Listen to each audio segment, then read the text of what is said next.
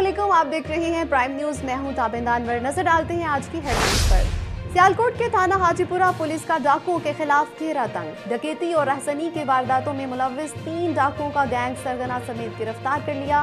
मुलजिमान संगीन वारदातों में मुलविस थे मुलजिमान के कब्जा से नकदी, मोबाइल फोन्स और वारदातों में इस्तेमाल होने वाला असलहा बरामद कर लिया गया। सियालकोट एयरपोर्ट पर एफआईए की कार्रवाई, जाली दस्तावेजात पर सफ़र करने वाला मुसाफिर गिरफ़्तार। मुलजिम को गुजरावाला मुंतकिल कर दिया गया।